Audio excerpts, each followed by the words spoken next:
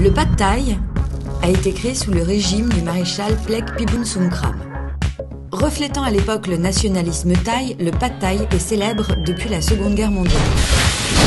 Facile à cuisiner et bon pour la santé, aujourd'hui n'importe qui, quelle que soit sa nationalité, peut apprécier ce plat.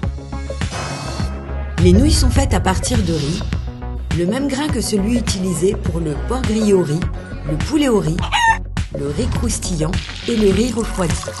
Les Thaïs aiment les nouilles chan qui tirent leur nom de la province de Chantaburi.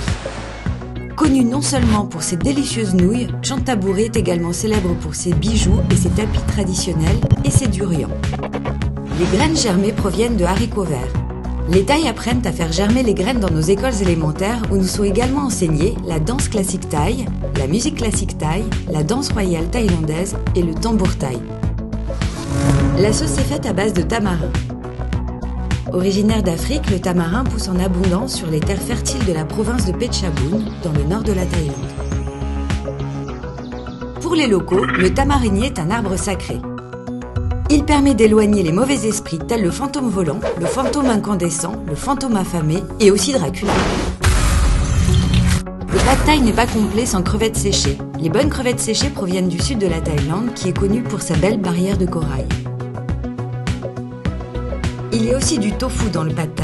Il est possible de s'en procurer dans le quartier chinois. Il suffit de le couper en dés, de le mélanger et de le faire frire avec des radis doux et des œufs. Le pad se sert normalement dans une assiette, mais si vous préférez l'authenticité, dégustez-le servi sur une feuille de bananier avec quelques fleurs de bananier sur les côtés. Les troncs de bananier sont également utilisés pour la fête de l'œil kratung, pour nourrir les porcs et aussi pour pratiquer la muay thai. Commandez du pad thai n'importe où, dans les cuisines de rue ou dans un restaurant chic. Mangez-le sur terre ou sur l'eau, partout en Thaïlande. Ceci est l'histoire du pad thai. Il y a des milliers d'autres histoires à découvrir.